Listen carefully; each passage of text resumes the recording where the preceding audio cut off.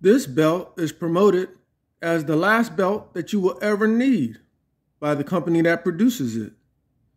And you know something? They might be right. They just might be right. And the reason why I say this is because I bought this about five years ago, half a decade ago. And it still looks as pristine as the very first day I bought it. And there's a reason for that. If you notice, uh, it's a no-hole system. It adjusts just by sliding. And that keeps it looking good. I'm not sure what company makes it. I don't see any writing on it.